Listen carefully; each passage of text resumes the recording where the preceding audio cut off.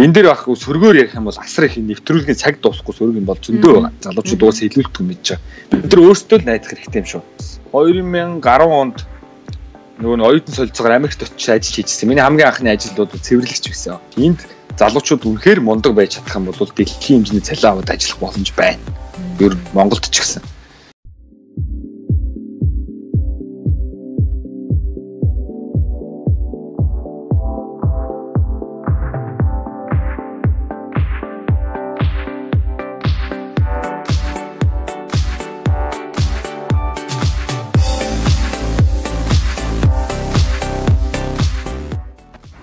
Та бүхэндээ энэ өдрийн мэндийг хүргэе. мэдэд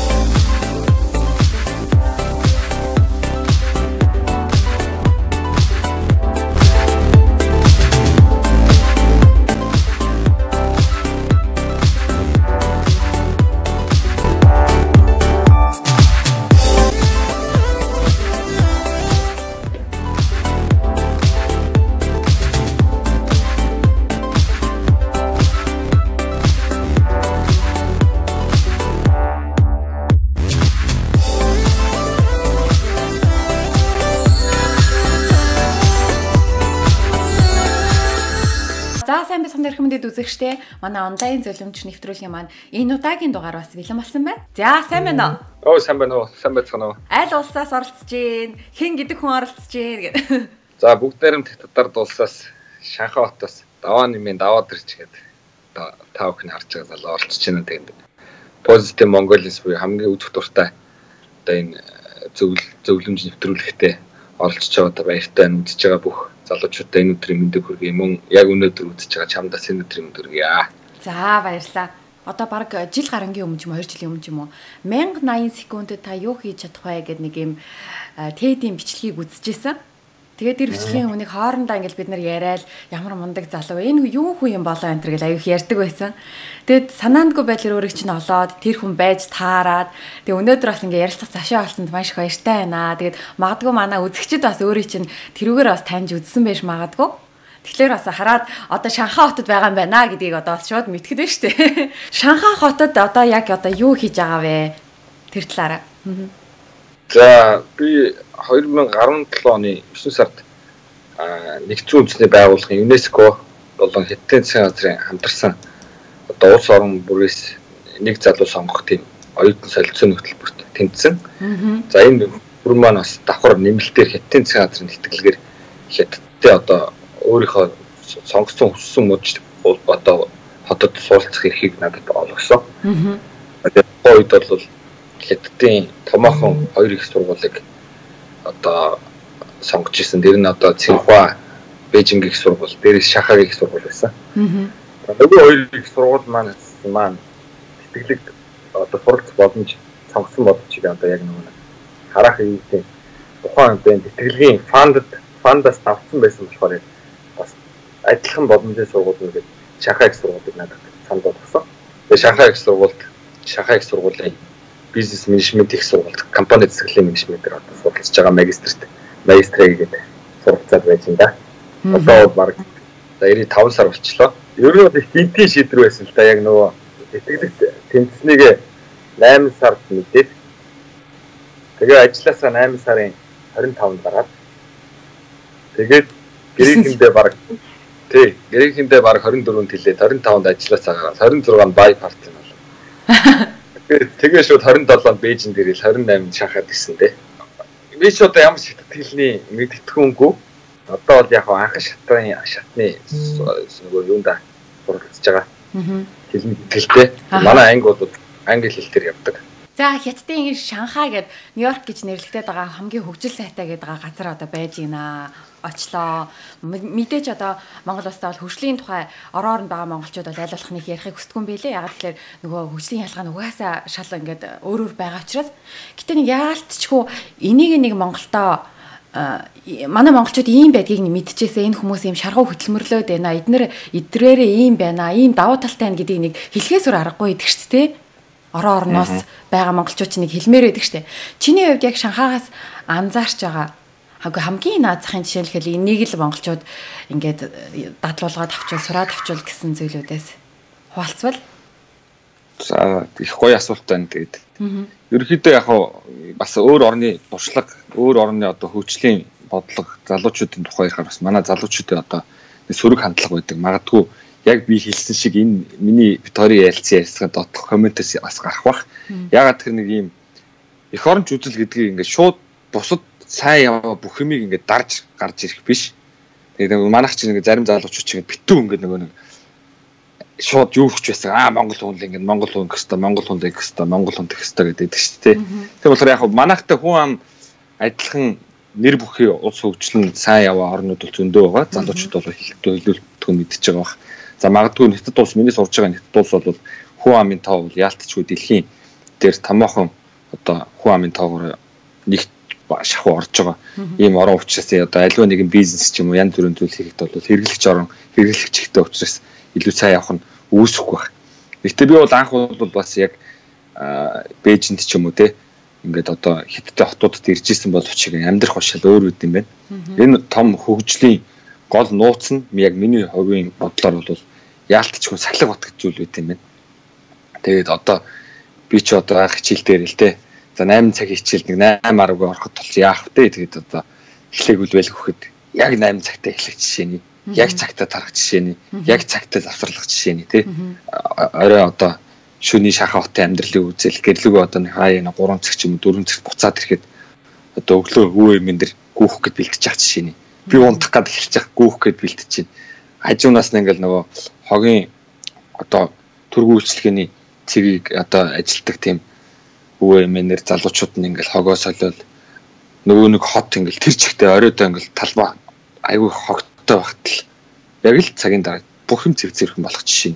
Ийм энгийн зүйлээс нь ажиглахдахад одоо гайхалтай бас их сахилга баттай арт түмийн анзаарагддаг.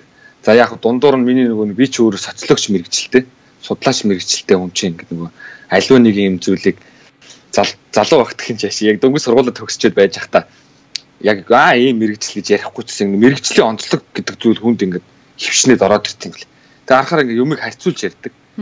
Болчдөг юм байна.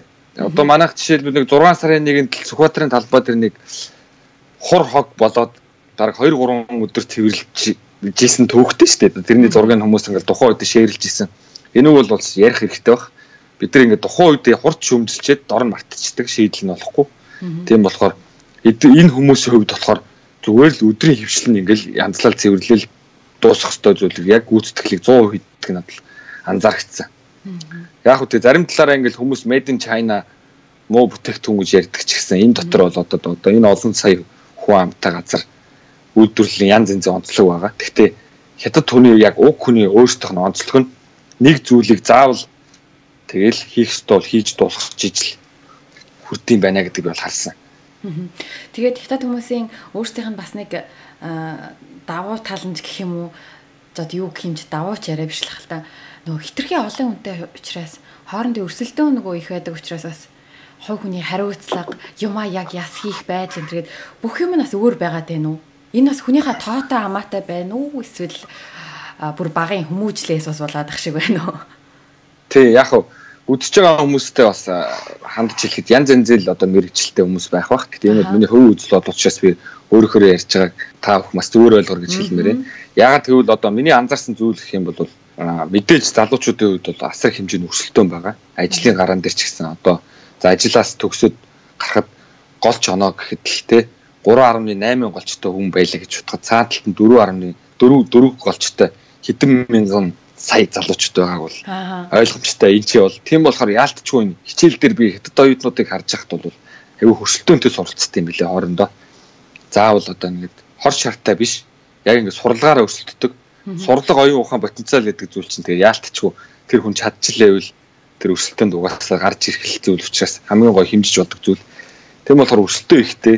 Дээрээс нь энэ нэг анзаарсан юм нь сайн яваа амжилтаараа ялгарч яваа нэгнээсээ дуурайж чаддаг, тэр хүнийг үнэлж чаддаг, тэр хүнийг хүнэлж чаддаг. Хүндэтгэл сахилга бат одоо нэгнээсээ суралцах энэ арга барилыг бие биенээсээ ингээд авж байгаа надад бол их гайхалтай санагддаг. Гайхалтай санагдаж байгаа Тэгээд яалтчгүй бас нөгөө хүн чинь өөр газар амьдраад эхлэхээр тэр хүмүүс их одоо нөгөө манай монголчуудын нөгөө усын нуул ясын дагна гэдэг шиг яалтчгүй бас тэр авч болох зүйлийн амьдралынхаа хэв маягийг одоо өөр өөрчлөхгүй бол болохгүй юм билэ. Би нэг ингэ сонсч байсан байхгүй юу? Jetli-гийн нэг хүний 10 юаны аян гэж нэг юм явагдаад тэр нь бүрсэн хятадын бүх хүмүүс бараг тий оролцоод сарын 10 яон өгдөг. Тэгээд энэ бүхний ингээ хараад тахлаар хятадууд бие бинийгээсээ амар дэмждэг юм шиг байна тий. Одоо нэг нь хятад хүн дотроос нэг хүн одоо Холливуд руу гарах. Эсвэл хятад хүн дотроос нэг хүн дэлхийн хэмжээнд гарах. Жакма жишээлбэл тий. Ингээд тэднийг хятад даяараа ингэж дэмждэг. Тэр нь одоо ингээ бүр амар ингээ тод харагдаад байхгүй. А гэтэл одоо манайхны хувьд болохоор би энийг бас яг үзэж байгаа хүмүүстэй ч гэсэн хандаж хэлэхэд энийг харьцуулаад манай Монгол мяа мяа мяа доошо муу энэ гэж бол хэлээгүй. Юу гэж хэлж гэнэ вэ гэхээр манайхан мундаг хүмүүс гадаадад энэ тэнд чи явдаг. Дандаа бор зүрхээрээ ганцаараа энэ тэнд очиод ингээл амжилт гаргаал явна хөвчлэн ингээ ганцаараа л шүү гэдэг тий. Нөгөө нэг бусад нөгөө монголчууд нь трийгээ дэмжих ч юм уу баг тийм юм айгу тотмог юм шиг санагдаад идэм а. Миний бодлоор. За тий ер нь одоо бас гоё бас сэдвүүдийг хөндөж байна. Би ч одоо тэр нөгөө нэг энд байхдаа яг яг юм чин сэтгэлийн ярилцлага хийгээг бас удсан байна. Тэгэд сая яг хятад хүмүүс Холливуд гараад тэр Джетлиг 10 он нэг нэгэ дэмждэг гэдэг тэр би бас нөгөө нэг их кино их үздэг. Ер нь бол бас их сайн хөгжим сонсно, кино их үзнэ. Онлайн сэтгүүлүүд их үзнэ. Тэгээ энд ирээд ихэнх нь бас хятад хэл дээр байсан болохоор хэцүү байсан. Тэгээс үүдээ яг онлайн аппликейшнуд болж байгаа англи хэл дээр үзэж байгаа. Нэг анзаарсан юм хэрэг би 9 сар дагаанх ирж байхад энэ чи бүх зүйл Marvel байсан. Яг нөгөө Justice League гэх кино. Одоо нөгөө East Ninja, West Ninja, Lujutsu гэл яг энэ төв хэсгүүдээр ингээл бүгд хятад хэл дээр хамгийн гол нь тэгээд арчуулгын хятад хэл дээр. Тэгээд энээс ихсэлэл эхэлж байгаа байхгүй одоо тоор ингээ хятаар яриад байна гэхээр бас сонирхолтой. Гэтэл тэгж тэгж гардаг. Би одоо Walt Disney-д наах яриад үзсэн. Walt Disney руу өстой сайхан гоё орондоо гэд бүх юм хятад хэл дээр. Тэгэл одоо ингээл нөгөө нэг далаан дээр юм чинь Jack Sparrow гарч ирэл яг гоё ярих бахта шууд хятаар ярьж байгаа. Оддын дайныхан ч хятаар ярил. Энэ мэтчил ингээ яалтчихгүй ингээд өөрийнхөө газар дээр байгаа шүү гэдгийг мэдрүүлж байгаа юм шиг. Тэгсэн чинь сарын дараа одоо нөгөө манай монголчуудын бахархал усан асашгүй давуу дэрж гэж мундаг хүн байдаг. Одоо тэр хүн маань Jack Maгийн одоо сая хийсэн кинонд орсон шүү дээ тий. Тэгсэн чинь шууд 10 сард тэр чигтээ нөгөө Marvel чинь байхгүй болол битүүд нөгөө Jack Maгийн суртлах хулгууд гарч ирэл. Хятадын тэр одоо хүчтэй мундаг гэсэн тий. Хятадын өөрсдөө алдартай тулааны төрөл бүрийнх нь тулаанчт манай Монголын одоо бахархлуулсан давуудаа жавраг гэдэг л ороод метроны буудал бүх суртлах хуулганд гарсан. Тэгэхэд яг надад гайхамшигтай санагдсан юм. Тэр нэг өдрийн дотор одоо эдний одоо өөрсдийнх нь тэр QQ, WeChat, Yahoo гэдэг бүгдэн дээр нь рекорд нь бүр нэг өдрийн дотор баг энэ улсын 50% нь үтцсэн байгаа хөө тэр кино. Аах за. Тэгээ тэр суртлах хуулгыг би яг хувь хүнийхээ бодож үзэхэд бол надад бол энэ улсын яг залуучуудад авж байгаа тэр бодлого нь бол таалагдсан. Яагаад тэгэхээр за Avengers Marvel-ийн тэр бүтээлүүд чинь бол байхгүй зүйл шүү дээ энэ дэлхий дээр.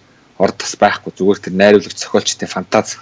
Тэгэхэд энэ хүмүүс яг олон зуун жил дамжигдаж ирсэн хятад хүмүүсийн тулааны спорт, оюун ухаанаа оюун ухаанаа удирдах чадах тэр далд суу бэлэг за одоо күнзийн сургаалууд ч юм уу те. Энэ бүхнийг ингээд цог цагуулгаараа нийлүүлээд одоо энийг ийм аура маягийн үүсэт эхлэхээрээ хүн хүнийг хүчээр биш оюун ухаанаараа дийлд юм а гэдгийг тэр Жакмагаар төлөөлүүлээд одоо энэ дэлхий дээр байгаа бүх хүчтэн хятадд хятадын бүх хүчтэн одоо манай Монголын тэр мундаг авраг бүгдийг ингээд нэг хүчээрээ ингээд дийлэх биш зүгээр л ингээл одоо чи бит хоёр одоо хүчээ зөв юм руу авъя гэсэн өрсөлд очнорыгоо ингээд зөв талаас нь харуулсан тэр кино гарахтал залуучуудын бахархал бүр өсөж байгаа. Тэр нь үндэсний бахархалтай маяг. Яг Монгол дээрээс сайн тал байдаг. Манай монголчууд бол нэг хүнийг хайрлахтай гэсэн. Үнэхээр тултал нэг дээшээ явуулдаг ш. Одоо манай Олимпийн авраг төвчин баяр авраг давагдаж авраг хагхуу даваа жаргал. За яриул ингээ бас дуусшгүй их мундаг хүмүүс байдаг. Дэлхийд гарсан. Тэгвэл хизээч тэр хүнийг шүүмжлэхтэй ингээд бүр гадар дор ортол нь оруулдаг ч юм уу тийм байхгүй.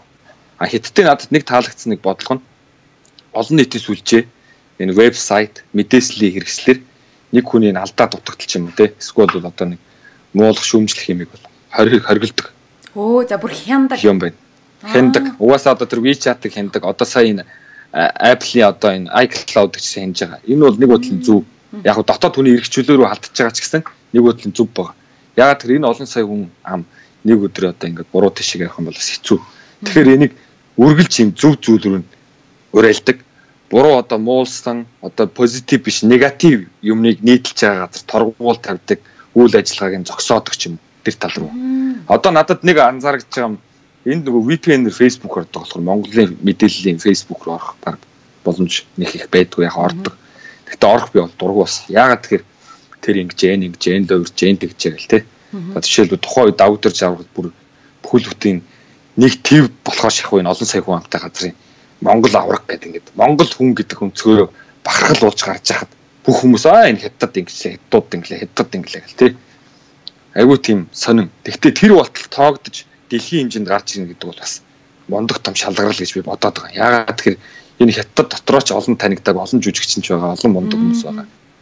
Тэгэхэд манай авраг гэх чинь ингээл том барилга дээр зуган ингээ гарч ирэл Жак Матам зогссон ч байх жишээ нь тий. Тэгэхээр энэ бид нар хүн амтайгаа харьцуулаад үзэхээр дэлхийд мундаг ард түмэн байгаа. 3 сая ард түмэн дотроос хэдэн олимпиа аврах, хэдэн олонний танил хүн байгаа вэ? Бид нар энэ цөөх хүмүүс өөрсдөө бахархаж дэлхий дээр гарч ирэхэд бол боломж байгаа. Миний энэ амьдрдаг Бавшаан гэдэг одоо энэ муж энэ хүн энэ муж 4 сая 100 хүн амтай. Зөвхөн тэр. Ааха. За. Манай манай манай улс шиг. Ааха. Улсаас ч ихвэ шүү дээ. Тэгээд тий манай улсаас их тэгэхэд л ингэ болоод байгаа. Залуучуудад гэхдээ битээ буруу ойлгороо. Яг амьдарч байгаа газараасаа л жишээ авч ярьж байгаа шүү. Тэрнээс би бол танаа одоо нэвтрүүлэхт одоо энэ Монголынхоо соён битээ одоо энэ бодолх тэгэл нард хүртэл Монголын маань туг байдаг. Монгол их орны маань үргэлж сайхан болоосоо гэж боддог. Яг л энэ ийм нэгдлийг энэ ард түмэн бол яг сайн сахиж авч явж байгаа. Харагдаж байгаа. Яг гадаад бодлохоор одоо өрсөлдөгч орнууд нь ингээл те хятад түүний хөв эрх чөлөөнд эрх тэтэрхий алдаж байна. Тэтэрхий мэдээлэл ингэж тэр бас байдаг баг. Гэхдээ яг би өөрөө хөв хөнөөд Монгол хүн хятадын цаг газраас тэтгэлийн аваа сурч хахад за миний тэтгэлэг хөрөлдөж чинь хөрөлдөж чинь амьдрал тарих байна ойрхон байна. Үнийн дүн болж чинь болж чинь За тэгэл ингээл юмыг үзээд явахаар амьдрал бүх юм ингээд ойрхон байгаад байгаа юм. Тэс болохгүй асуудал байхгүй. Яг таалагдж байгаа юм залуучуудыгаа яг тэр талаас нь зөв тал руу навж байна. Одоо жишээлбэл одоо дүлгөөнө бодолтой. Бидрийг 20 жилийн өмнө жишээл зааваад үзье. Хятад тус юм байхгүй. Тэгэхэд NBA-ийн сагс дөнгөж Ямин гэдэг сагсч анх хятад сагсч орсон. Одоо араас нь Jeremy Lin гэж гарч ирсэн. Зөндөө олон сагсчд байгаа. Тэгснээ дөнгөж NBA-д ганцхан хятад сагсч орох хятад баярлж исэн бол одоо NBA-с retired болсон сагсчд нь хятадын лиг тоглож байгаа жишээ нь л байгаа. Тэгэхээр энэ улс үндэстэн нэг юм одоо гар утасны апдейтер ярьдаг бол апдейтыг бол бүр үнэхээр тултална гэж хийж байгаа. Ингийн үгээр л яриа л та. Ер нь бол ингээд апдейтыг бол байн гэж. Одоо манай энэ сургууль дээрээс ингээд би алхал явж би бол нэг сайн сакс тоглодгоо. Тэгэхэд ингээд залуучууд нэг сакс тоглодог бүүзээ тусдаа өөрөө явждаг. Баян сакс тоглоно, баян хөдөлгөөнтэй, баян тийм эрүүл хэмнэлтэй амьдралтай. Тэгэл Жишээлбэл сая Шанхайд одоо дэлхий дээр одоо нэлийн үн бүхий тамирчтанч байгаа. Дэлхий дээр хамгийн томоохон саксны баг тооцогдож байгаа. Одоо Golden State Warriors багийнхан бүгд ирсэн. Стефен Кари ирсэн. За үзүүлэх тоглолтыг явсан. Тэгэхэд тэд нар ингээл хятадаар мэдчилж байгаа байхгүй. Сурчлагаан дээр. Евен сар гэдэг одоо Евен сарын баяртан зориулж тэд нар ирээд тоглоо явсан. Тэгэл энэ жишээлбэл. За одоо жишээлбэл одоо бас муухайлах Victoria's Secret-ийн одоо Angels-ууд дэлхийн одоо бүх хүмүүсийн одоо эмэгтэйчүүд эрэгтэйчүүдийн одоо хүсэмжт модельүүд те тэд нар ирэхэд тал одоо хамгийн хөөхөн мундаг модельүүдийн ерөөсөө визний асуудлаас болоод оруулахгүй юм гэж болиулаад аа тэгээ ордод модельүүд оруулах жишээ. Тийм. Яг энэ энгийн яг энд сурж байгаа болохоор энийг ярьж байгаа болохоос биш. Яг заавал хятад хятад гэдэг байгаа биш шүү хүмүүсээ тэгээд бас зөвөр ойлгоно. Энэ мэдлийг яг ингэж өөрсдийнхөө дотор хүмүүсийг илүү гаргаж авах байгаа байхгүй. Тэрнээс биш тэнд байгаа имийг өө эдний юм байна манайх юм байна гэх бас утгагүй. Би зүгээр яг энэгээр юуг ойлгох гээд байгаа вэ гэхээр Монгол учраас монголчуудыг аль гээд зөв талаас нь Монгол одоо үндэсний бахархлыг залуучуудад түгээцгээе. Тэрнээс юм цөөхүүлээ вэжиж одоо дэлхийд шалгарсан маркетинг арга хүртэл mouth to mouth амнаас амд амжих арга гэдэг. Сая би ингээд тэр бизнес инсайдер дээрээс харахад энэ арга дөрөвт л явж илээ. Энэ олон арганууд гарч ирчээд амнаас амд амжих. Тэгэхээр чиний нийтлсэн мэдэг 5 хүн л уншина. Цаашаа 10. Ингээд ингээд өсөө явах учраас сөрөг юмнуудаас аль болох болоод позитив Монголиа байгаас гэж би бодоод байгаа. Тийм учраас би энэ одоо энэ нэвтрүүлэгт үнэхээр бэлгшээж баярлж оролцож байна. Нээлттэй сайхан ярилцж байна. Дээрээс нь бас дөлгөөнийхөө асуусан асуултан дээр дахиад дэлгэрүүлээ хэлэхэд одоо ингэ босч харуул л да. Миний энэ өмсцэн байгаа одоо поло бол Шанхай танк гэдэг брэндийнх хятадынх. Тэгсэн ирнэ яг хөө энэ дээр ингээ Монголиа Чингис хаан поло клуб соёмтой артал дээр Монгол хүчээр хөвцсөн байна. Аа за. Яг яг залуучууд бас энэ дээр жоо сөргөөр ойлгож магадгүй. Гэхдээ одоо яах вэ? Шанхай танк бол одоо хятадын брэнд. Тэг амар сонин 15 онд би Вагнер Азийн компанид ажиллаж исэн. Манай одоо Азийн бүсийг хариуцсан компани бол Сингапурт байдаг Land Rover компани. Тэр онгоцтой буудлын дээр бууч яв Шанхай танк гэдэг энэ энэ миний энэ поло модельд байжсан байхгүй. Тэгээ яг заавал дан ганц монголоор хийгээд байгаа юм ш Хонконг тэгэл Монгол орон орных дээр ингээ хийцэн байт юм билий. Аа за.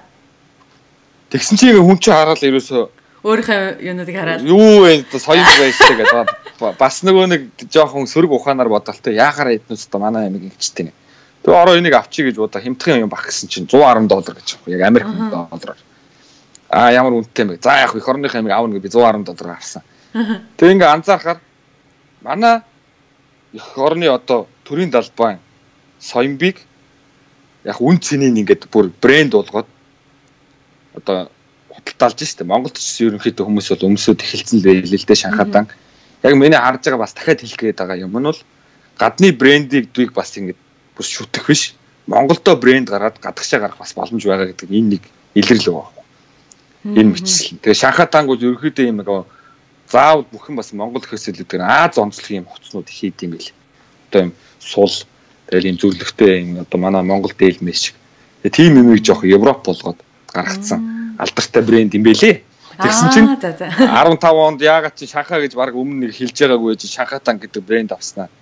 17 оноос Шанхайд ирэл амьдрдаг л авчихсан. Сурдаг таарад өө тэгээ бүр. Тий. За яг энтэй ч уялдуулаад нэг бас юм сэдв байна л да. Нэг асуулт байна. Бид нар бол яг очиж мэдгүй байгаа ч гэсэн Facebook онлайнаар харж байхад айгүй их одоо хувцсны жишээлбэл брэндүүд гарсан байна зөвхөн бомбер яг ойдог. Эсвэл Монгол дээлнүүдийг өстэй амар гой гой загвараар ойдог болчихж а бүр яг энгийн өдөр тутмын амьдралдаа өмсөж болохоор хувцснуудыг гаргасан байна. Эрэгтэй дотоошнуудыг одоо хийдэг тусдаа юм ингээд юу нэгцэн байна. Монгол Аймс аймс бол одоо айлужээ янмаал гэ гарцсан тий. Тэгтэл одоо ингээд нөгөө күүртэг хувтас Дженсүн өмдний одоо урбан дахиад өөр бас зөндөө гарсан байт юм байна. А энгийн спорт хувцснууд гих мэтчлэн күүрт гэдэг зөндөө юмнууд гардаг болцсон. Гадаад байгаа монголчууд их нутгаа их сандаг учраас өөртөө нөх хүний нутагт байж үзээд эднэр яаж юмнуудаа ингээ өөртөөхөө ямыг идэлж хэрэглэдэг өөртөөхнийгаа яаж дэмждгийг ойлгоцсон хүмүүс чинь өөртөөхөө их нутгийн ямыг ингээ авч өмсч идэлж хэрэглэмээр байдаг. Ямар ч хөдөлж авах гарцсан байхгүй холоос хүнээс захиулжлаа авна. Яг тийм ингээд гадагшаанаа ингээд авахад ерөөсө чиглэхгүй дотроо л ингээд зараад байгаа юунуудаа яваад байгаа юм шиг санаадаа цэгийг санагдсан. Тэгээ энэ тал дээр бас чи өөрөө бас өмнө нь хувцсны дэлгүүр ажиллаулж ирсэн тий. Тэгэхээр яг тэр бүхэлдэн брендийг дэлгүүрэнж явуулчлаарай. Брендийг одоо бүхэлдэн том брендийг Монголдо оруулж ирээд ажиллаулж ирсэн. Өөрөө тэр талаар дуршлагтай хүний хувьд энэ тал дээр бас юу гэж боддог вэ? За одоо тэгээд хэрэглэгчээс л эхлэн дээ. Би бас ийш үзүүлэхэд бас зохимжгүй. Гэхдээ хятад одоо жишээлбэл яг цайны ургамлын хувьд бол нэлийн дээгүүр ордог шүү дээ. Дэлхийд дээр бол цайны орн гэж бас нэрлэгддэг. Гэхдээ би хятад цайнууд бол ерөнхийдөө ууж үзчихсэн. Гэхдээ миний энэ одоо цай бол одоо инхчин гээд монсын цай авах жишээ. Би нэг одоо жишээлбэл 10 хайцыг авчирсан. За одоо би ерөнхийдөө бол Монгол юмнуудыг хэрэглэхийг хүсдэг. Хэрэглэгч юу. За тэгцтэй бас эхэлж ярихгүй бол анх би Black Star гэдэг брендийг зориг гээд манай найз бас ер нь анх бол бас санаачилч надад санаа тавь санал тавьсан. Ер нь Black Star-ыг оруулж ирүүл яасан. Тэгээ Timothy гэдэг ганц алдартай хүн гэдэг монголчууд ер нь сайн мэддэг бах. Одоо залуучууд монголчууд нь ч бах залуучууд сайн мэддэг. Тэгээ харсан чи тэндээс юу таалагдсан бэ гэхэд би ер нь аягүй хүндэсний гэж үгийг ашигладаг юм шиг байна. Ер нь анзаараад. Тухайн үед яг ингээд Америк эдийн засгаа ингээд хориг тавиад Оросыг ингээд эдийн засгаа хориг тавиад тэгсээр нэ тэгсээр нэ Оросд Америкийн брэндүүд амар их байгаа компаниуд байх жишээ нь McDonald's, Starbucks, за одоо тэгээ Subway, за хувцаар ярих юм бол хэлбэлтүүд тэгэл одоо зөндөө брэндүүд байгаа. Тэгсэн чинь тэр Timothy гэдэг нөхөр rap хийхээсээ илүү Black Star гэдэг брэнд байгаа. Тэр нь ерөөсөө Орос онцлог байдаг. Хувцсууд нь миний одоо ард байна л та. Гэхдээ би одоо бас үзүүлээд тахад төвхтэй. Тэгээд яг тэгээд яг одоо бас ашгүй энэ чи би нөгөө нэг Black Star ярих байх гэж бодод. Одоо энэ чи Black Star нэг цамч. Одоо Оросын ингээд төрийн сүлд Оросын туг байх жишээ. Тэгээд десанттай. Тэгээд энэ хоёр талдаа Оросын тугийг тавьчихсан. Энэ юу гэхлээр гэхээр үндэсний бахархал эх оронч үзлийг яг эндээс шингээж байгаа. Залуучууд энийг авч байгаа. За тэгээ ерөнхийлөгч нь ингээ хориг тавиад Америктай жоохон харьцаа муу байсан чинь Путиний зурагтай бодолох гаргаад. Артал дээр нь Мой Лучид рүү гэдэг президент Путин. Миний хамгийн сайн зүйл Путин юм а. Путин хүртэл дэмждэг. Филиппин дээр хүртэл Кремлийн урд буулаад. Тэгээд хувьцлын зах зээл дээр тухайн Зара эчэндээ байхад бол яг ингэжсэн ч гэсэн залуучууд нь нэлээд хэрэгэлдэг болоод нэг жилийн дотор аппликейшн гаргаад шиппинг үйлчилгээтэй дэлхийд таяар тархсан байгаа орсуудтай түгээгээд за Станы орнуудаар Казахстан, Тажикстан одоо Станы орнуудаар одоо хуучин зөвлөлтийн орнуудаа бүгдэнд нь ингэж дэлгүүрээ нээгээд. Тэгээд зах зээлийн эзлээд эхэлж байгаа. За энийг эх оронч Орос брэнд Оросдоо манлайлалт эхэллээ. Тэгсэн чинь тэрнээс 6 сарын дараа Black Star Burger-гээ гаргаж ирээд нөгөөд чи Оросоор мэдээлэл хийж байгаа хгүй. Залуучуудаа McDonald's ийм ийм бургер зөндөө бол одоо гадны брэндүүд. Гэхдээ эх орныхоо одоо энэ одоо хөрсөн чингсэн одоо юу гэдэг энэ ургамал ногоо орсон энэ юг. Одоо энэ тэрэн дээр яг тэгдэг нэг Орос одоо настай ихчнэр гэх юм уу те бабушка гэдэг чинь тэгээд тэдний маань хайр халамж ингэж ингэсэн одоо тэр дахианы махыг ингэсэн ингэсэн тийм юм Black Star Burger туу утахгүй гарна. Тэгсэн одоо энэ Black Star Burger дээр нь одоо хүртэл ингэж нөгөө очтой. Аа. Тэг ингээд тийм л байна. Тэгж үндэсний үйлдвэрлэл хийж ин. Гэхдээ бид нар бас яг Black Star брендийг оруулж ирээд яг яг энэ нүгүү бас залуу хүний хувьд ярихт бол бас зээл мэлтэй тэгэл ингэж хэлсэн. Одоо ч зээлтэйгээ байгаа. Тэгээ яг Монголдо одоо яг анх би бол бодсон брэнд нь оруулж ирээд цаашдаа яг юм Black Star шиг Монгол бахархлаа шингээсэн хувц үйлдвэрлэгч болъё гэж ер нь төлөвлөж байсан. Одоо бол харьцангуй нөгөө манай найзын ажил бол миний одоо бас гадаад сурж байгаа зүйлээс болоод төр хойшлогдсон байгаа. Black Star дэлгүүрээ бол бүтэн 1 жил 2 сар ажиллаулаад бол одоо бол үйл ажиллагааны зогсоосон. Яагаад тэгэхээр айгүй үнэтэй. Монгол юм гэхээр хямдхан байх алгүй бас. Гэтэ үнэтэй. Нэг малгайтай цамц нь 240 мянга. Саяын энэ цамц жишээл 100 60 мянга гэх жишээ нь бодолгууд нь 100 мянгаас эхэлдэг. Яагаад ингэж байгаа? Энэ бол брэнд. Ерөөсөл брэнд. Анханасаа валюугаа тогтооцсон. Тэгээ ингээ хүчтэй ингээ анханасаа ингээ хүчтэйгээр явж хасэргаад хэрэглэгч нарыг одоо тасгарч байна. Тэгээ нэг бас гайхалтай юм нэг коллекц нэг сард гараад дахиж гардаггүй. Аа. Тэгээ ингээ ингээ шинжлэхтэй явдаг. Ийм байх жишээтэй. За Монгол гэх юм бол бас гоё байна. Одоо тэр эр хүн билүү? Ба тийм нэртэй дотор хувц гарсан байлээ. За одоо манай би бас найзуудаараа их бахархдаг. Одоо манай Тэнүүнгээд бас найз байдаг. Одоо нэг Kidalt брендийг хийж байгаа өвлийн хүүхдэг, Монгол өвлийн хүүхдэг, Монгол бүрэн хувц гарч байна. Аа. За Smoke брэнд үүсгэн байгуулагч анхаагийн Grand Master гэдэг бүр гадаад юм шиг Монголын одоо хаад маад баатруудыг ингээд ийм гоё зураглалаа хийцэн брэнд хүртэл гарч байна Зөндөө болон бас хэлэхгүй уучлаарай бас үлдээсэн брэндүүд гэж магадгүй Ламорын хулан гээл байна. Гадаад хүмүүс бүгд тэр органик бүтээгдэхүүнүүдийг худалдаж явж байна. За жишээлбэл халгаа халгаа шампунь шампунь Японд одоо худалдаалагдчих байх жишээ нь. Тий. Энэ дээрээс нэг давуу юм одоо нөгөө нэг удахгүй бас мундаг залуучууд маань хийчих واخ уу гэж би бас боддоо шүү дээ. Амар позитив болохоор. Одоо ч нөгөө нэг хятадуудын хийгээд байгаа энэ нөгөө табо одоо энэ онлайн худалдаа бол тэргүүлж штэ сая сүүлд одоо нөгөө eBay-ийг бут цоглоо штэ нөгөө рекордороо тэр шиг энэ бидний ингээ амар хүн дээр хараад байгаа юмыг энгийн болгочиход л тэгээд бүх хүмүүс маань хэрэглэх болох баха. Тэгээ миний бас яг бодоод байгаа юм бол ерөөсөө гадаадд байгаа ер нь бид бүхэн маань гадны брэнд яг мэдээж том брэндүүд бол байх нь зөв. Тэр чинь бол бидэрт стандарт тогтоож ин гэсэн. А тэдэртээ өрсөлдөхүйс брэндийг Монголдо бид нар өөрсдөө бий болгох юм бол ядаж би бол Urban Jeans-ийн компани хамт олон үзчихвэл үнэхээр баярлалаа гэж хэлмээр санагддаг. Бүгд бүгдийг өмсдөг гэж хэлж худлаа ярих нь ч ах. Миний одоо нийт нийт өмдний 40% нь бол Urban Jeans бол болсон. Айгуу бас гоё гоё санагддаг. Аа. Яг энэ хичлэн бас ингээд Монголд байгаа нийт бас ард иргэд бүх хүмүүс бас яг чиглэл чиглэлийн одоо хэрэглэх хэрэглэх юмнууд брэндүүдээс Монгол хувцсыг бас ингээд тодорхой хэмжээнд оруулж ивэл те заавал хувцс биш ч гэсэн Монгол юмыгаа хэрэглээндээ ингээд баг багаар оруулаад ингээд яг тэр босод орнуучиг солонгос одоо хаанлын жишээлбэл одоо манай шведэд хүнсний дэлгүүртээ орохдоо швед хүмүүс нь өөрийнхөө яг швед хүнсний дэлгүүртээ орохыг ирмэлцдэг. Гаднаас орж ирсэн салбар дэлгүүрийн хүнсний штэ. Тэр дэлгүүрээс одоо юм авах жоохон дургу. Яг үндсэн швед дэлгэр руугаа орно гэж хоорондоо хүртэл ярьдаг. Тэгээ энээс ингээ харахаар хүн нь өөртөө нөгөө яг энэ Монгол юм гэдгээ сонгож хэрэгэлдэг байгаад ингээд тахлаар нөгөө бие бинийгээ дэмжигдээд юм нь ингээд хөгжих юм болов гэж хараа тий. За брендийн тухай бол ийм сая бас ярьж амжаагүй нэг зүйлүүд бас байна. Хүн юу тарин түүнийг хураана гэдэг. Ганцхан амьдрах энэ л насандаа хүн бүхэн жаргалтай авах учиртай. Тиймээс залуус бид нэгдэж давгаалж аа сайн үсгийн хаянд их оролцоод гар бие оролцоод зохион байгуулад бас зөндөө олон зүйлсүүдийг хийгээ явж байсан үеийнхэн залуучууд бас мэдж байгаа ах. Одоо үзэж байгаа үзэгчдээс бас таних хүмүүс нь таньж байгаа. Тэгээ тэр талаараа бас ингээд жоохон яривал тийм зүйлд гар бие оролцож хэдэн жил ингээд зохион байгуулж явах ямар байв? Чамд ямар одоо юу өгсөн? Сургамж өгсөн бэ? Уучлаарай. Яг залуучууд болохоор ингээл ярина. Хөрөг нэвтрүүлэлт ороод бүр амар амжилттай хүн шиг санагдаад жоохон бие барих гээд байна. Би ч бас яг хүмүүс зүгээр ойлгох сул тал олонтой давуу болохгүй явж байгаа ер нь бас тиймэрхүү л залуу. За хамгийн анх бол 10 жилдээ 8 дугаар ангид сурагчтай холбоо гэдэг байгууллагад нэг орж исэн. Тэгээд тухайн үед За ер нь ингээд би ер нь нэлийн нийгэм итгэдэг байсан багаасаа. Одоо нөгөө нэг хошин шог шиг болчих гээд байт юм аа. Манай ээж линкэнд очихоор чи дарга болчих юм аа. Өөрөө болоё болчт юм аа шиг. Эмлэг эмлэг твцэн дасгийн дарга болж илаа ш нэр нийттэй. Тэгээ дасгийн дарга болохоор нэг даргасаад байх юм байх. За хамт өвдсөн хүүхдүүд хоолнд л явдаг юм байхгүй. Тэгээ нөгөө тэрэндээ амар хариуцлагыг ингээд дөрдөө орцсон тий.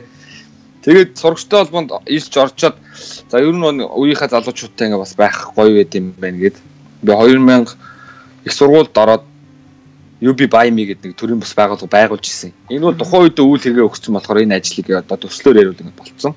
Цааш нь бол би өөрөө бас сурж боловсрох хэрэгтэй тий хөрөнгө санхүү гэдэг хэлхийг нийгмийн үйл ажиллагаа бол дандаа зардал өндөртэй болохоор би өөр нь бол ингэж бодсон.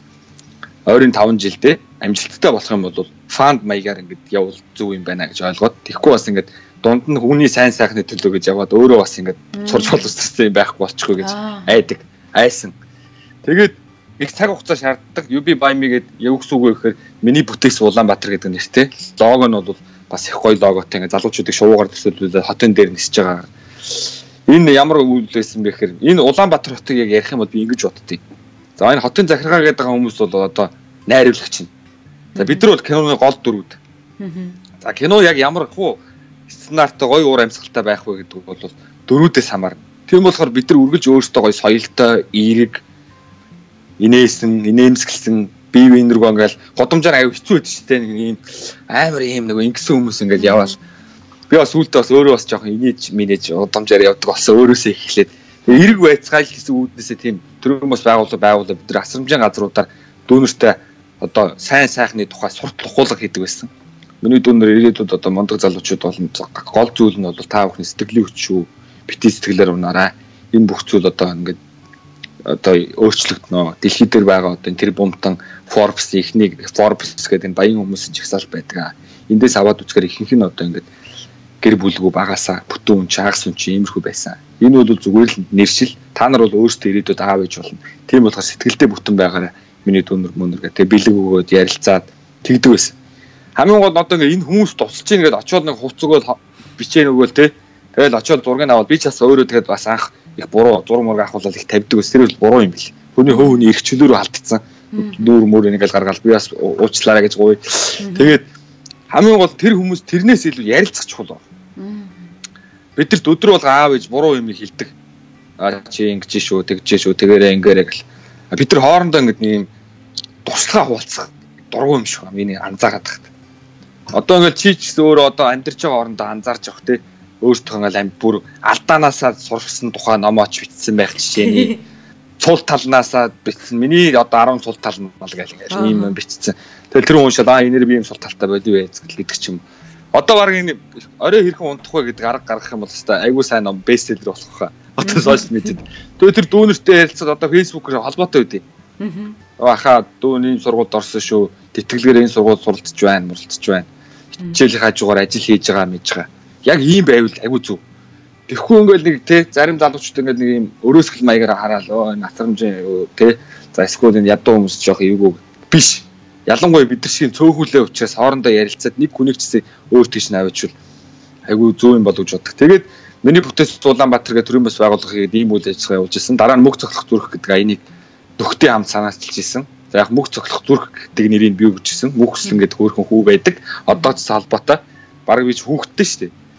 Манай хүү шиг байдаг. Одоо анх бол бас олон цаг хугацаа өнгөрсөн байна. Анх 5 настай байх шахуу ер нь бол эмчнэрийн байдлаар бол дахиж амьдрахгүй гэж хэлсэн.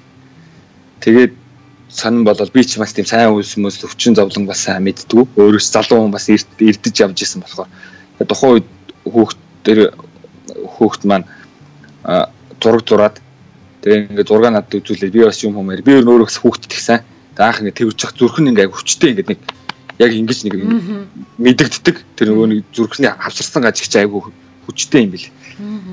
Тэгээ эмчнэрийн тэр хэлсэн зүйл энтгэгт очиж хаалгаанд ороод одоо манай хүү том хүүхд болоод одоо сургуульд сураад 2 дугаар ангид явж байгаа. Тэр би бод баярлдаг. Тэрийг бол үнэхээр хараад баярлдаг. Хизээ нэг торимд нь оролцсон гэж би боддог. Жишээлбэл энэ бол яг бодит үрдүн. Тэгээ тэр тухайн үед тусалж исэн Монголын ард түмэнд маш их баярлалаа гэж хэлмээр байна. Тухайн үед бол 3 сарын хугацаанд 35 сая төгрөг олж исэн. Тэр үед ингээл нарантуул Монгол захаар манай найзууд бид нар баг манай баг нэг 30 залуучууд байсан. 30 улаа ингээл яваал өөртөө ингээл мөнгө олоод тухайн үед бас Монголын яг улс төр биш шүү. Тухайн үед бол Монголын ардсан холбооныхаа маш их тусалж ирсэн. Ягаад тэр бид нар бүтэн өрөө гаргаж өгөө төрөөс авахгүй сайн үйлсээ сайн байн залуучуудаа гээд дэмжиж ирсэн энэ мэтчлээ.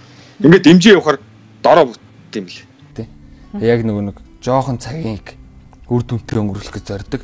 Тиймдээ ч бид нар 20 хоногийн хугацаанд маш олон ер нь тодорхой хэмжээний үйл ажиллагаануудыг амжилттай хийсэн баг гэж бодож байгаа. Ялангуяа анх бол тоглолт хийн гэдэг бол надад үнэхээр том ажил санагдчихсан. 14 хоног үлдсэн. 14 хоногийн хугацаанд тэр тоглолтоо шийдээд тэгээ яг аяныхаа хаалт тэгээд бас сайхан болсон. Үзэл бодолд бол бас тодорхой хэмжээний өөрчлөлт орсон. Ямар өөрчлөлт вэ гэхээр ил нөгөө гой хувцас жоохон залуухан одоо юу гэдгийг те дундаж наснд одоо юу гэдэг 18 20 насны үед чинь ингээл гой машин толгосон гой байртай болох юмсаа гой хувцастай гэл мөрөөддөг гэсэн бол яг энэ хүүхдтэй учирснаас биш яг эрүүл байх л хамгийн том жаргал юм байл гэдэг мэдэрсэн. Яагаад гэхээр яг хүн өвчин зовлон бол юуг л юуг л бүтээж чаддаг Хүнийг бол ганц ялахгүйгээр ингээд одоо сөхрүүлж чаддаг зүйл бол энэ янз бүрийн хүчин юм бэл. Тийм учраас би эрүүл мэндэд анхаарах анхаардаг болсон шүү дээ. Тэгээ нийгмийн сайн сайхны төлөөр хувьяас одоо хүртэл би оролцдог. За хаяа заримдаа манай найз тэгдэж чи одоо кино шиг үйл явдал чам байнга тохиолдсон юм эсвэл өөрөө зохиогоод гэдэг юм. Би нөгөө энгийн ингээд одоо чи нэг өвөө ингээл сайхан үг хэлэх юм бол одоо санаандгүй уулзалт. Энэ өвөө ийм сайхан өнгийн үг хэллээ мэдлэг фэйсбүүкээр би нэг өсөндөө нэг эерэг аавра үүсэх гэдэг байгаа байхгүй юу? Аа тэгвэл тэрнгийн хүмүүс уншаал энэ ядцсан худлагаасаа дандаа нэг ийм зохиоцсон зохиоцсон бичээд хүн юу гэж түүх зохиоход жишээл би хаяа ингээл манайх багшин дэдэн тэнд байдаг. Би алхаа явж тэрнгүүр ингээл одоо нэг би бол хог төдөх хүмүүс гэж хэлэх их дургу. Аа нэг нийгмээс одоо юу гэдэг хоёр нийгэм дамжаад тухайн үед жоох алдсан хүмүүс л гэж ойлгож болно л доо яалтчгүй нийгэмд зохицож амьдарч чадахгүй хүмүүс ч юм те. Тэр хүмүүстэй ингээл ярицхад хүртэл тэр хүний алдаа хүртэл надад өөрийнх нь туулсан нас хөшөлсөн байдлаас нь би тэр хүний алдааг олж харж байгаа. Ахан залуудаа ингэж алдаад бодохгүй ингээ явсаар хэл мэс чи ийм болчлоо гэж сонсоход л нэг сайн бүр бүтэн ном уншснаас илүү үр дүн авч байгаа. Яг хүн бол өөрөө бид нар бүгдээрээ нийгмээс хамааралтай. Чи ч гэсэн хамааралтай, би ч хамааралтай. Би оролцохгүй байх гэсэн юм байхгүй оролцож байгаа учраас зөв зөв талаас нь оролцохудаас би бол үргэлж идэвхтэй байдаг. Манай ээж ч гэсэн тухайд намайг жоохон зэмлж исэн. Нэг л нийгмийн сайн сайхан гэж яваад тахаа өөрөө ч өөрчлөж байгаа юм хаана байна чи одоо ажил төрлөөс аа орой үдш яг үнэн худлаа илээ яваад байт юм уу гэлээ. Тэгэл тэгжиж 3 сарын хугацаанд тэр хөөх хүүд тусалж исэн найзуудтайганд тий. Тийм болохоор би одоо үдсэж байгаа залуучуудаа үнэхээр уриалмаар байна. Манай энэ дүлгүүн бас одоо нөгөө гэр бүлийн хамт хийдэг одоо тэр влогнууд үнэхээр гоё эрг энерги өгдөг жишээлбэл одоо хоёулаа ярилцж байгаа болохоор бие биенээ магтаад байгаа юм биш. Би жишээлбэл www positive mongolians гэж бичгэд энэ мэдрэхүүгээр хараагаараа за чихээрээ сонсоод би сэтгэлийн одоо бүх мэдрэхүүрээ таашаал авчих жишээ нөө. Тэр ямар таашаал вэ гэхээр нэрээ манай өөдрөг монголчууд, эерэг монголчууд ямар гоё юм бэ. Энэ оронд ийм мундаг залуу байна. Тэрнээс яг бид нэг бахархаад өнгөрөх биш. Өөрсдөө хев маяг болгоод явах юм бол манай юм цөөхөн одоо юу хүн байхт те. Аа. Тийм штэ. Тий. Тэгж боддоо штэ. Тэгээ би одоо бодд юм а. чи бид хоёр ингээд ярилцж гин дээрэс нь өшөө мундаг олон мундаг монгол залуучууд байгаа болохоор бидний үед манай улс бүр чиг өсрөнгөө хөгжил рүү орох байх гэж боддог шүү дээ.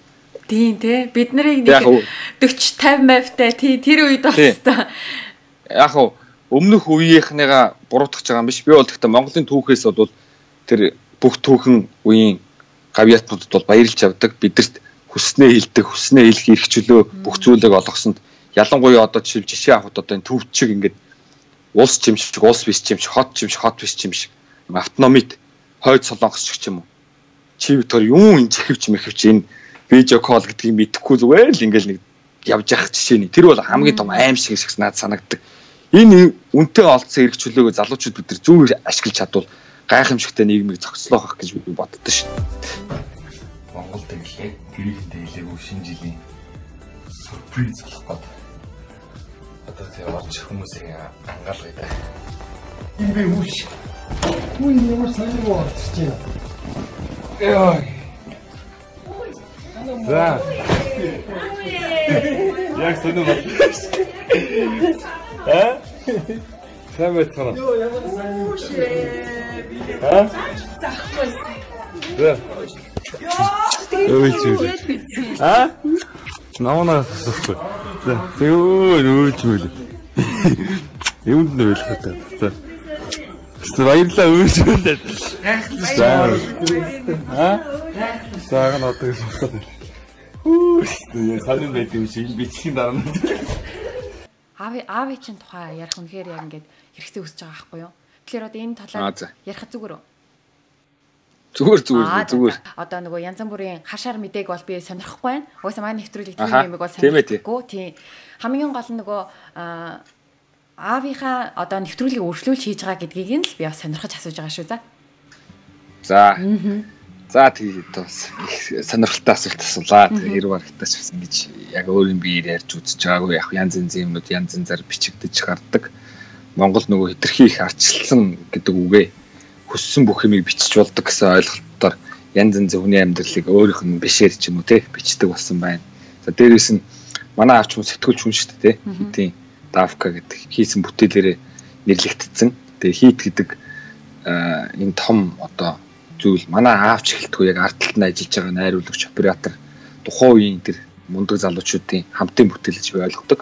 Гол дүр нь бол одоо манай аав байсан болохоос бас ер нь манай аав юм бас үүсгэн байгуулсан зүйл нэг Тэг би чи одоо яг нарийн ярих юм бол би ч одоо хоёр аавтай. Одоо манай төрсөн аавыг бол даваа нэм гэдэг. Намайг өсгсөн аавыг маань бол нар мандах гэдэг цэргийн хүн байдаг. Би бол аавдаа их баярлж явдаг. Намайг одоо өвдөй зэрэгтэй өсгөж хүмүүжүүлсэн их баярлдаг. Манай аав надад сүүлд энэ Шанхайд 9 сарын 9 сард Монгол телевизээ ой болсон. Тэгээ тухайн үед Монгол телевизийн одоо 50 жилийн түүхэнд бас нэлээд олон үзэгчтэй нэвтрүүлэг хийд нэвтрүүлэг шалгараад манай аавын тухай бас гараад алтан самхаг гээд шагнал авсан. Тухайд Монгол телевизийн удирдлагуудаас намайг ирж гардаж авах чадах уу гэжсэн би тухайд сургууль сураад өнгөрч авчихсан болохоор бас тий оюутан хүн ч одоо тэгэл нэг цом авчаа буцаад явна гэхэд хэцүү. Үнэхээр очимаар санагдчихсэн. Тухайд манай аав надад хэлжсэн. Миний хүү ингээд аавынх нь хийсэн бүтээсэн юм ингээд шагнал авлаа. Мундаг аавынхаа нэрийг дааж явна шүү. Сургаал нь тий Тэгвэл аавдаа баярлалтай. Бас аавынхаа тухайс ингэж нэг ярьж байгааг манай өсгсөн аавынхаа тухай.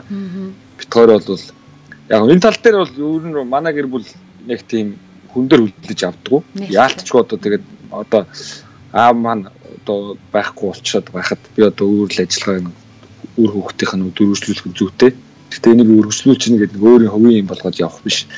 Тэгээд би бол аавыг бол уран бүтээлч өнцгөр харах юм бол бас их мундаг хүн. Төстой жинхэнэ танаа одоо позитив гэдэг үг тэр чигтээ байдаг.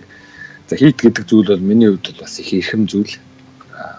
Тэр хүний би бол яг яг нэг үг хэлэхэд бол хийтийн давкагаа хүүхдгэж юм харагдах их дуугүй.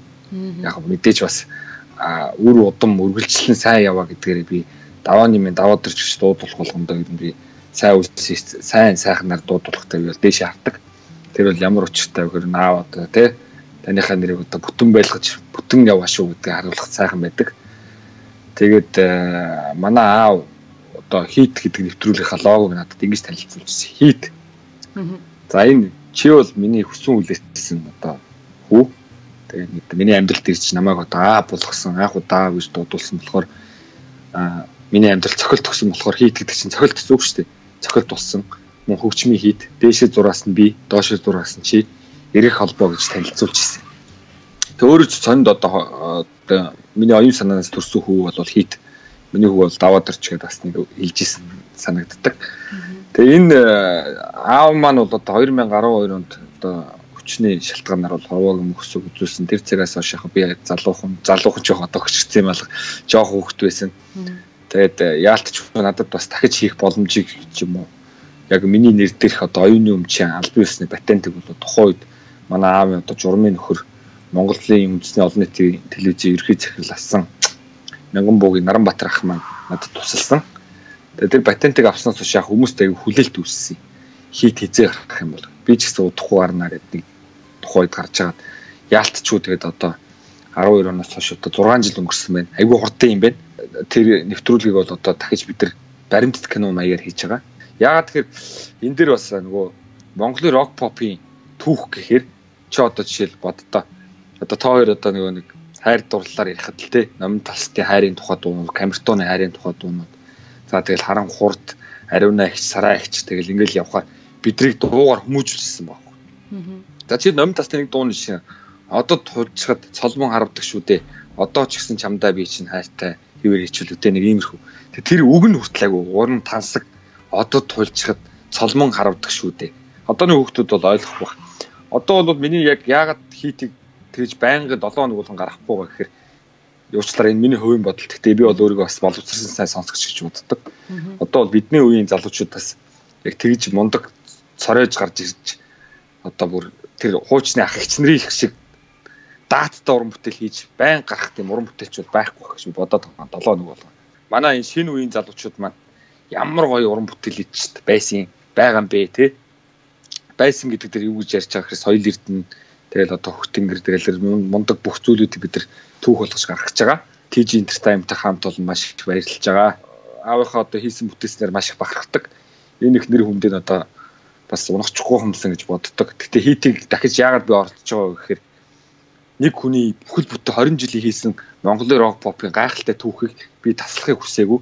Тийм учраас өргөжлүүлж аавынхаа хийсэн бүтээснийг одоо одоо тэр хүн чинь бол энэ хийсэн бүтээснийхаа үр шимийг чараагүй юу гэдэг те үзэгчдээс ингээ баярлалаа гэж хүмүүс ой мойгоо гэж гарч ирээлтэй тэмдэглэдэг тийм бүхнийга үзэж чадаагүй. Гэхдээ энэ бүхнийг би тэр тэнгэрт одоо байгаа аавынхаа бас хийсэн бүтээсэн сайхан бүхнийг бас залуучуудаа сайхнаар үзүүлж боддог. Тэгээ бас их сони юм байна. Өнөөдөр ингээ ярилцах. Би нөгөө аавынхаа тэмдэглэлийн дэвтрийг байнга авч явдیں۔ Одоо энэ хийд нэвтрүүлгийн бас нэг тодорхой хэсгээс ингээд бичсэн байна. Одоо ингээл энэ одоо бараг 20 жил болсон дэвтэр ч юм уу. Эфир гэл те. Хийтээ одоо ийм ийм ийм. Классик жим гинэ. Соёл эрдэнэ. Тэнгэрт одож одсон хүүдээ аа за за уншигдэж байна. Тий. Одоо ингээл э, тэнгэрт одсон жүүдээ галсаа даймаа ахын дууг гэл ингээл ингээл баахан тэгж гаргана ингэж гаргана сценараа битсэн. Өөр бас их гой санагддаг. Яг жинхэнэ бодит өмнө түүхийг би өгүүлэх хүсэж байгаа. Нэг өгүүлэхэд. Яагаад тэр одоо ингээл Монголд нэг таалагдахгүй байгаа юм нь өнгөрсөн үеийн айгүй өгүүлэгдэг болчиход байгаа байхгүй альва юм дээр бүх тал дээр. Би гарч ирээл энэ үе өөрчлөгдсөн юм шиг би гарч ирээл энэ дуу гарцсан юм шиг биш байхгүй? А өмнөх юм сайжирч гарч ирнэ үхэс биш. Өмнөх юмыг өмнөхөөр нь дуурин гэж хэцүү. За яг урлагийн хувьд гэж би одоо нэг урлагийн хүн биш үргэлжлүүлж байгаа хүний хувьд ярихад зарим нэг хуучин нэг сайхан гайхалтай уран бүтээлчин дуу тэрнээс нь долоон дээр болгох жишээ нэ тий. Одоо зарим нэг хөгжмийн нэвтрүүлэгч юм хөтлж байгаа залуучууд дээр бол бас жоох шүмжлэлтэй л ханддаг. Одоо Монголын од тэр маань оролдож байна. Монголын одоо анх удаага Монголд анх удаага ийм хийсэн байна. Монголд анх удаага тийм хийсэн. Би бол гэхдээ энэ ах ичнэрийн маань үе яг энэ 90-с 2000 оны одоо орчин цагийн урлагт бол 90-с 2000 оны бүх уран бүтээлчнэр бол айгүй том хөв нэмэр бидний үеийн залуучууд өгсөн болов гэж боддоо ш. Аа. Одоо 60 70 гэ дээшээ явхаар бүр тэр хүмүүстэй юу ярих вэ? Жинхэнэ бурхан мань гэнэ. Одоо алтан үеийнхэн гэдэг хүмүүстэй бол би одоо ярих хэмжээний биш бах. Зүгээр хийт дээрээс ярихад бол тийм байна. Манай гэр бүл бол энэ тал дээр бол айгүй гоё тийм нээлттэй өгдөг. Тэгээ бас дүлгөөнүүдэд баярлалаа айгу тийм ойлголтын зүрх бас асуултыг асуусан гэх баяртай байна. Тэгээ Монголд бас би нэг эмзэглэдэг юм гэх юм бол одоо ингээд нас барцсан хүн ч юм уу эсвэл би заавал өр хүүхэд нь байлаа гэдэг тийм зохиомл түүх, зохиомл сенсац дэгдэг гэл ингээл янз янзаар бичээл хийтийн давка ингэдэг байж, тэгдэг байж, ингэдэг байж гэл ингээл тэр зүйл би айгүй хэмзгээр тусгаж авдаг. Одоо тэгээд хүмүүс нэр хэлчихвэл нөгөө хүмүүс бас буруугаар ойлгож байх. Монголд нэг юм хідэн юм дурхирдаг хүмүүс байдаг шүү дээ. Ингээ нэг сайн юм ярихгүй мөртлөө дурхирхтаа ингээл хүмүүс ингээл ингэдэг. Тийм юмд бол асар их эмзгээр хүлээж авдаг. Тэ. Би ч өөрөө социологч мэрэгчтэй олон нийтийн санаа бодлын социологид хичээл хүртэл байдаг. Яг тийм хүмүүс ингээд нэг яаж энийг юм сенсацыг дэгдэх үү? Би цөөхөн ард түмэн дээр түрүүний ярианд би нөгөө хятад дуулсын жишээн дээр яхад ингээд нөгөө нэг юм сенсацийн нэлдэж шуум шуугаан буруу зүйл сөрөг мэдээллийг хянах үүднээс иргэдэх амиг бас давхар хинж ингэж зохицуулт хийдэг бодлогоор ажилтдаг гэдэгт би бол үнэхээр тэр тал дээр нь бас Монголд бас тгээс гэж би боддог. Яагаад тэгэхээр хараа одоо ингээл нэг үзэг энэ үзэг боловч ийм юмар ингээд хүний амьдрал, хүний дурсамж, хүний сайн сайхан бүх зүйл нэг хүний ард нэг гэр бүл байгаа. Ингээл дураараа бичээл эсвэл хуруугаараа бич постлоо сайт болгоод хүмүүсийг ингэж муухай талцуулдаг тийм зүйл одоо над их таалагддгүй энэ асуусан асуултан дээр дэлгэрэнгүй хариулахад ер нь бол яагаад тэгэхээр та хоёрын та бүхний санаачилсан позитив Mongolians гэдэг гайхалтай төсөл та хоёр хоёулаа хоёулахна позитив байж болно наад орондоо тий гоё хөвчлөлтөй орно. Тэгэхээр энэ олон хүмүүсийг өөрчлөх үүднээс ийм сайхан эрг зүйл хийж байгаа шиг хүмүүс ч гэсэн дор бүрнээ өөрсдөө хувь нэмрээ оруулаасаа гэж би бодож байна. За баярлаа. Чи энийг бас их сайхан ярих бах. Юу гэ гэхлээр бид нар одоо гадаад хүний оронд байна. Яаж хэрхэн яаж их орондоо хөгжил төвшөлт нь хувь нэмэр болж чадах вэ? Чиний бодлоор. Монгол улс тусгаар тогтнол гэдэг өгүүдийг сонсохоор ингээ яалтч хүн гэл ингээд нэг юм огштой юм шиг санагдаад байгаа. Тэг ямар санд одоо сөргөөний хэлсэн шиг энд ч соём тэнд соём гэдэг шиг. Би бол Монгол их орондоо хайртай. Би Монголын түүхийг уншиж судалдаг гэж хэлж болох бах. Тэгтээ яг тийм шинжлэх ухааны хэмжээнд биш. Өөрийнхөө хэмжээнд би Монголын түүхээр бахархдаг. Ямар агуу зөстэй цустаа тэр зөв зөстэй цустаагаа яг зөв үедээ гаргаад Эрдэм оюунаа бас зөв үедээ гаргаад одоогийн мундаг Монгол ус бидэнд ирвэ гэж би их бахархдаг. Монголын хөдөөд аялаад уулын орой дээр гарахад хүртэл гайхалтай мэдрэмжийг авдаг. За бас хүмүүс хэлүүл мэдэх манай анар гэд найзуудыг анар хүү гэд. Одоо самжилтай их үлийн төр хүмүүс байгууллага олон бас кино залуучуудад хийжсэн анад найзууд. Тэр найз маань асрал тайрхан руу аялчаад нэг намайг аваа явсан. Нар чи 3000 гаруй 2799 м-ийн өндөртөр гараад тэр уул тэр сайхан одоо тал уудам газар нутгийг хараа хүн бол огшдог юм билий. Яг эндээс юу хэлэхэд нэг тэгэхэд бид нар шиг машинтай очиод гарчих биш. Морьтой тэгэл одоо тэр том уудам талыг ингээл туулаад энэ том газар нутгийг эзлээд одоо бидэрт авчирч өгч ийн гэдэг бол гайхалтай байхгүй. Тэгэхээр энэ дээр би ингэж боддتي. Би анх 2010 онд нөгөө нь оюутан солилцоогоор Америкт очиж ажиллаж хийжсэн. Миний хамгийн анхны ажил бол цэвэрлэгч байсан. Одоо гоёор хэлэх юм бол housekeeper буудлын өрөө цэвэрлдэг. Өдөртөө бараг 60 60 цэвэрлдэг. Тэгээ нэг л хүний нутагт ингээл хүний одоо ингээл ваас тэг ингээл одоо би одоо гоёор ярих юм бол одоо ялгадс эмэгтэй хүний одоо тэгэл янз янзын байгалийн онцлогоор ирсэн зүйл мөлийг ингээл цэвэрлээл те гараараа цэвэрлээл. Тэгээ явж хахад би цагийн 8 доллар 90 центийн цалин авч исэн. Тэгээд өдөртөө 10 цаг ажилладаг гэхээр өдөрт л бараг 100 долларын цалинтай тий. Тэгээ ингээд тэнцэнэ тэгсэрний далайн иргэн хажууд нэг юм апартмент маягийн хаустай. Тэгсэрний 3 өрөө байр нь ганцаараа амьдэрдэг.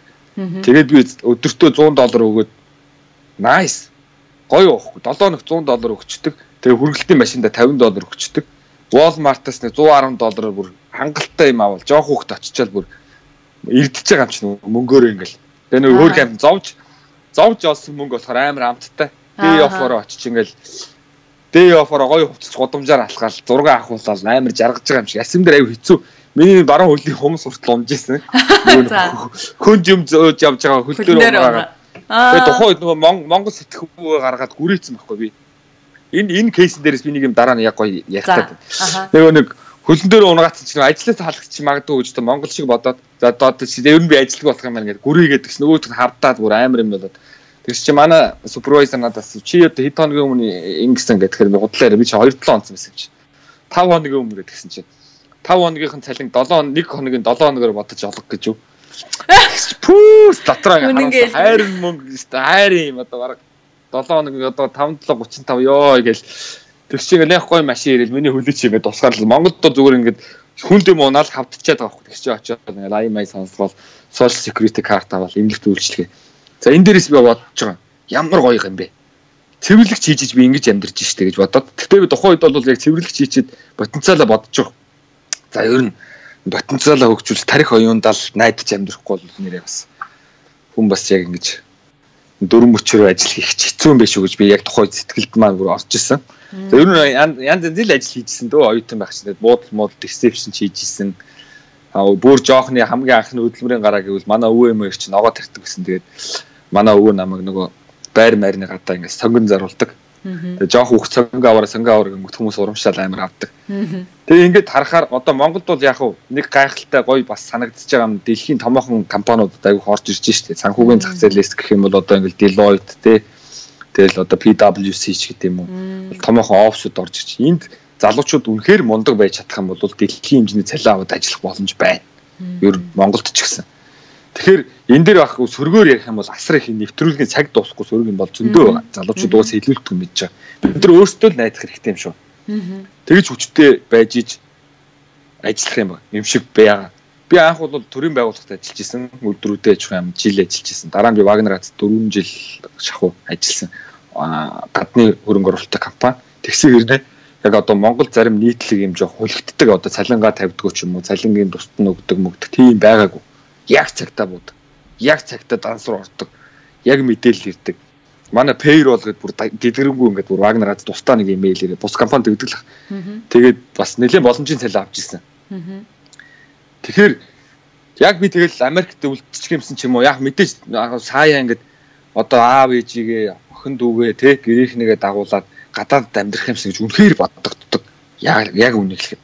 Одоо бол яг үнэхээр бас хүмүүс санал нийлэх бох. Монголд бол үнэхээр дарамтны дарамтыг үржих нь тав болчиход байгаа байхгүй. Гараа явна. Эрүүл орчингийн дарамт байхгүй утаа.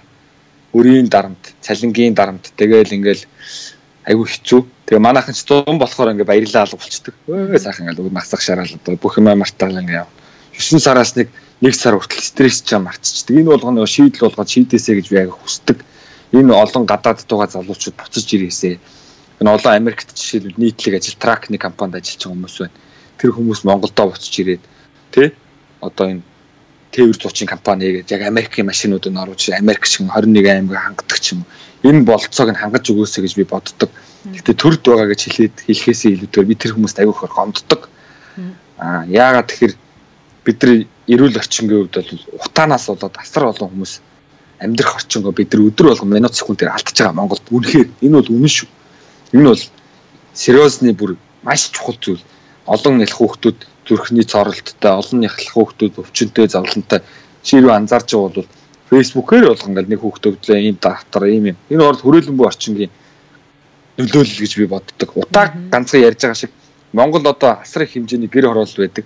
Тэр ялангуяа хүний одоо энэ өтгөн шингээ ялгац хөрсөнд ороод хөрсний бохирдол гэдэг зүйл 100 болвол агаарын бохирдлоос илүү байгаа. Тэр хүмүүс харахгүй байгаа байхгүй үнэртэй ингээд ингээд хашил машил гэж. Тэр энийг энэ цөөхөн шийдвэр гаргадаг хүмүүсний сэтгэл гаргаад нэг 3 сая хүнийг нэрээ гоё амьдруулсан гэж би боддоо юм аа. Үнэхээр тэгж би тэгээсэ гэж боддог.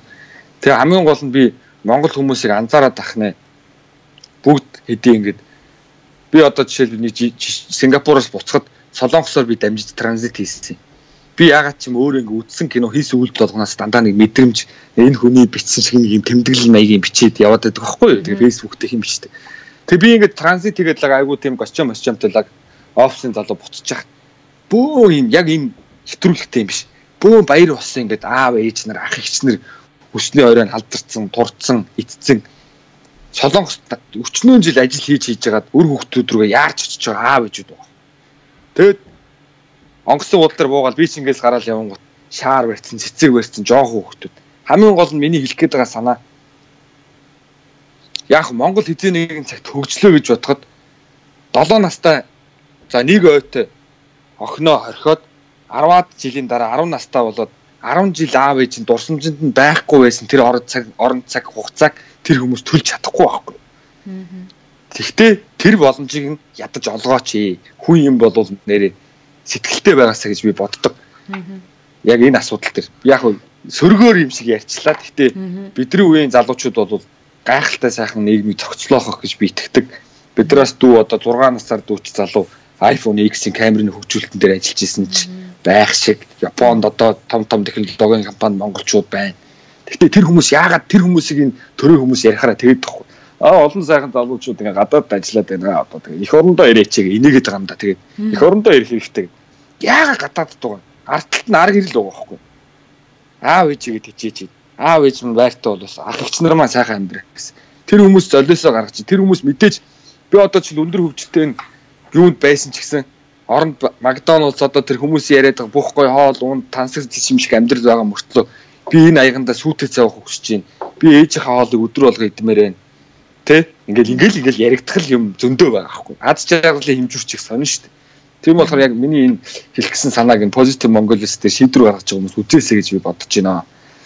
Тэгээд яг энэ асуудал дээр аягүй сэтгэл имзэглэдэг болохоор яг углуургийнхаа үг гэдэг шиг ярьчлаа. Манай ах жишээлбэл бас Солонгост 20 жил ажиллаад иржээ. Ерөөс огт ирж байгаагүй наашаа Монгол ирчүүл яг бол сэтгэл нь хоёрчих гэж бодсон. Би яхаас асууж байгаа. Тэгэл 20 жилийн дараа тэгэл зав залуух яг над шиг явсан ах маань тэгэл 40 хэдэн нас гараал ингээл ирж явах жишээ нь л байгаа хгүй. Тэгэхээр бидний үеийн залуучууд болохоор одоо яг эерэг талаас нь ярихад Би бол хизээч энд яг уу гадаад дүлцэх юмсан гэж бодол надад ер нь байдаг. Нэг бол одоо ингээд одоо жишээл манай гадаад ажилладаг найзууд жишээлбэл гайгүй ингээд байшин хаус маус ингээд худалдаж авчаад аав ээж мэж ихнэр хүүхдээ үүл болохоор Америк тавьчирдаг. Зам болохоор буцаадаг чинь ийм нийт чинь байхгүй. Би болохоор яаж хурдан бушуухан Монгол улсаа хөгжүүлэх юмсан л гэж ер нь дотроо боддог одоо нэг нэр дэвшиж байгаа хүн санал авах гэж байгаа юм шиг би хэлж байгаа юм биш. Нэр ингээс нэг Монгол маа сайхан болчихвол нэг бөөндөө сайхан амьдрах юмсан гэж бодоод байгаа шин. Аа. Positive Mongolians чууд даурайлах нэг тийм л ээ. Би зүгээр бид хэд ингэж хичээгээд байгаа байхгүй. Энд нэг өөр оронд амьдарч байгаа хүн Positive Mongolians гэж төсөл эхлүүлээд өөр оронд ажил сурж байгаа залуучуудад туршлагаа хуваалцаад ингэж байгаа чинь бид нар их орондоо сайн сайхан байх юмсан л гэдгийг л нэг том оролцоо байхгүй. Тэрнээс бидний ямар ингээ позитив Монголоос аа гадаа сайхан маань хятад сайхан байх шүү. Хятадын хөгжил гоё байна. Хятадтай үлдмээр ингэсэн юм байл яриаггүй гэдгийг бид ер нь хүмүүс манаас зүгээр ойлгосоо л гэж бодоод байгаа.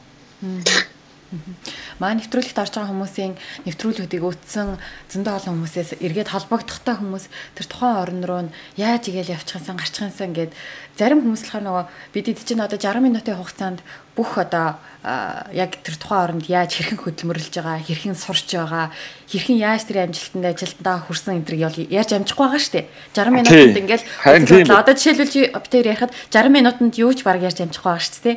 Тэгтэл хүмүүс нөгөө нэг дотоо ингээ үзчихэд аа за за Шанхайд очиод сурчих юм бол аюу гоё болох юм байна. Шанхаал явах хэрэгтэй юм байна. Шанхаар хоёр нь яаж явах вэ гэд бас ингээд нэг өөр юмар өрдөгдөөд ингээд байх шиг байгаа.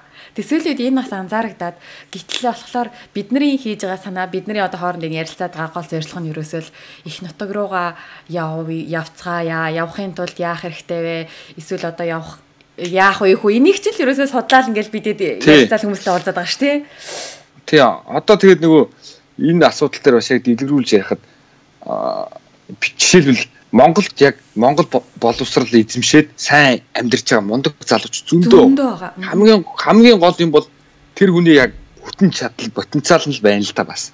А би гэхдээ яагаад хятад сурсан тухайгаа давчирхан ярихад амар сонь. Би юм болгоны хөв тавилантай гэж сан бодоод ах шиг. Миний одоо 1080 секундээс улбаалаа хоёлоо одоо олон жилийн дараа 3 жил дараа ярилцж шít. Энэ ч гэсэн ингээл хөв тавилан ингээд тохиолдол гэж боддог. Би бол хөв тавиланд бол шашингаас амар итгэдэг. Тэгээд аа би манай ээж намайг айгүй гоё кино үзүүлдэг байсан дандаа. Тэгээ би тоор CC гүнж үздэг, алдар Шерли Темплийн буржгар өртгийг үздэг. Тэгэл нөгөө шуурган туугдагсад тэгэл дандаа классик кино гайхалтай түүхнүүд 17 дугаар 100 15 дугаар 100-ны тэр нэг эдлэн газар мазар аж ахуйч байдал те тэр ингээл багасаа үзэл ямар гоё юм бэ. Тухайн үеийн Монголын үндэсний телевиз ер нь бүх телевизүүд яг тэр бодлого яг зүв байсан байхгүй гоё кинонууд гаргадаг, гоё юм сэргээдэг. Би бол одоо аимшиг кино байн гаргадаг телевизүүдийг бол ойлгохгүй жишээл алан хайдан гаргадаг, ойлгодог. Одоо Америк жишээд нэг юм байд Spider-Man киноноос болоод 14 хүүхдэл нас урцсан. Ягаад гэхээр Spider-Man хувц өмсөд өсөрцөн, гэрээсээ өсөрцөн, гимцэн зөндөө таваад. Тэр бас зүв болгох хэрэгтэй юм шиг байна. Тэгээд нэг хайр хайр гэдэг брэнд байдаг шүү дээ. хайр брендийн тухай кино Монгол телевизээр гарсан юм. За. Тэгээд энийг ч би найзуудаас аявих ярьдаг. Тэгсэн чинь хайр брэнд ингээл анх гараад хятад нөгөө нэг дүнгийн нөгөө дундад дуулс гэдэг нэртэй тэгэл э, жоох хөгжил буураатай үйлдвэрлэл хөгжөөгүйтэй хятад чинь бас ядуу орн байсан шүү дээ. Бараг 30 жилийн өмнө. Тэгэхэд бид нар үйлдвэр хийх ёстой байна. Үйлдвэр хийж сайхан амьдрах амьдрал ингээл нөгөө хайрын үүсгэн байгуулагч гэртээ ингээд цагаан сар тэмдэглэж байгаа байхгүй. Тэгсэн чинь ингээд дөрвөн мандуу тавьчихсан ингээд цөөхөн жоохон юм тавьчихсан ингээд тэгээ нэг бэвис хувцас амсчихсан ингээд нэг хятад маягийн нэг юм сентуан юм шиг юм хувцсууд байдаг чинь нэг өвд өмсдөг. Тэгэл бүгд нэг ингээд ижлэхэн тэр хоолойд сууж байгаа. Тэгээ хөрөг чигээл 100 хөрөг чигээл баяр хүргээл өө бид нар үйлдвэр байгууллага. Би нөгөө нэвтрүүлгийн 60 минут болохоор гэлт авчиж яаж. Алгадас чи машаал хөрөг чи бас дундаас ингээд нэг эдийн хэмжээний нэг юм эрэг унцдаг байхгүй. Тэс чинь нөгөө нэг үүсгэн байгуулах чуул хятад бүтээгдэхүүн маш муу гэдэг дэлхийд даяар муу нэртэй багт та нар ийм муу юм үйлдвэрлээ дахиж энийг хийгээд нөгөө хөргөчөө эвдлээ тэгээ хийгээд тэгээ олон жил өнгөрөөд хятад дуулс чинь дотооддоо хэрэгцээг хангадаг болоод нөгөө түрүүний урбан жис ярьдаг шиг гадагшаа зах зээл гараад Америкийн үйлдвэрлэлд үйлдвэрлэдэг те хүн болгон Samsung худалдаж авч чадахгүй шүү дээ. Тэгвэл Samsung-ийн дайтай хямдхан ч юм уу сайн бүтээгдэхүүн бол хайр байх жишээ нь. Тэгээ ингээд зараад тэгсэн чинь дахиад цагаан сурулж байгаа. Хүү байхгүй. Дөрвөн мантаа ч юм бүр ширээний болон татсан хяса миса далайн бүтээгдэхүүн мэтээгдэхүүн ширээн бүр ингээд баг нөгөө хүн ширээн дээрээс хоол авч чадахгүй юм шүү. Аа. Тэр тэрийг хүртэл найруулагч жижигхэн санаагаар яг би тэрийг олж харж үзчихлээ л дээ хүмүүс тэрийг харсан тох. Тэрийг хүртэл найруулагч ингээд харуулсан. Тэгэл пүү ямар одоо гайхалтай юм бэ гэл те. Тэр киногийн үзэл хайрын үүсгэн ба энэ киног би хэзээ ч мартдаггүй. Тэгээд дараа нь би ч бас ном уншина гэж гурилдаг байсан. Би ч ном ингээд бүтэн уншиж чаддаггүй байхгүй. Байсан. Би одоо одоо тийм сонирхолгүй одоо хэрхэн байж байгаа мэж байгаа гэдэг номыг бол би уншиж чаддаггүй. Ер нь бол тиймэрхүү ном уншдаггүй. Яаж турах ч юм уу. Тэр бол нэг нийл хувийн асуудал байхгүй. Тэгээ би одоо ингэ бодит түүх унших дуртай. Тэгээ би хүн ээж намайг надад нэг риторика гэдэг нэг илтгэх урлаг гэдэг ном өгч ирсэн. Манай аав ч үлээ надад ямар ч тэр нэг нөхс тэгэнгүүт би харж ирсэн күнзийн хэсэг уншсан чи тэр үгний нэг утга нь би одоо яг нарийн марчиж. Би 10 настайдаа алхад зурна, 20 настайдаа тогтож харна, 30 настайдаа сонсохыг гадарлана 40 настайдаа сонсож сурна 50 настайдаа бусдыг сонсно 60 настайдаа өөрийгөө ойлгоно 70 настайдаа хорвоо гадарлана 80 настайдаа хорвоог ойлгоно 90 настайдаа ертөнцийг ойлгоно 100 настайдаа жамыг ойлгоно гэж байгаа хгүй. Тэгнүүд ерөөс хүн бод бүхэл шатандаа сурнаа л гэсэн үг байгаа хгүй жишээ. Тэгээ энэ ухаан энэ үндтэн ингээ авч яваад байгаа шиг байгаа. Ер нь ер нь хиттэй их сургууль болгон күнзийн хөшөө гэдэг ш жишээлбэл. Тэгээ ингээд өнгөрсөн цагийн сайхан юм ин орчин цагт холбоо төхөр яалч юм яваад өгчөж байгаа. Бид нар тэгэхээр шин юм гаргаад одоо тийм ингээл одоо залуучууд ингээл стартап стартап одоо юу гэдгийг тэгэл ингээл гадны имийг татах биш. Аль хэзээний бидний дээр үеийн мундаг хүмүүс хийцэн байгаа амийг зүгээр олж аваад санааг нь гоё дээшлүүлвэл бид нар бас дороо бас хөгжил хөгжил рүүгээ зөв орж хуу хөний хөгжил дээр л айгу зөв гэж би бодож байна. Тэгээ бас зарим нэг хүмүүс надтай бас санал нийлэхгүй надаас илүү боловсралтай ч мундаг хүмүүс бол одоо бас яа энэ ингэ чинь тэг чинь одоо сэтгэл хөдлөлөөр яач гэж бас үүсгэж магадгүй. Гэхдээ би бол ингэж ойлгодог. Harvard байна уу, Stanford байна уу, за Carnegie их сургууль байна уу? Ямар ч сургууль ерөөсөө хамаагүй. Гэхдээ ямар ч сургууль дипломны дагуу бичигдсэн сургалтын арга барилтай дипломыг олгож байгаа болохоос биш эх оронч үзэл өөдрөг сэтгэл сэтгэлтэй байдал үн чудраг занг болвол хүний тарих руу пад гэд оруулж чадахгүй Энийг бол хүн өөрөө л хийн. Тийм болохоор өөртөө л зөв байл гэж би уриалж байгаа. За одоо нөгөө шууд нэвтрүүлэх шиг мэнчлэгээ ихэнч юу те. Тэрийнхэнтэйгээ одоо нөгөө хөгжлийн хурдцсан яриад байгаа. Одоо байнга ярьж байгаа. Одоо 90 донд байсан бол одоо баах юм ярих байсан баг. Аа.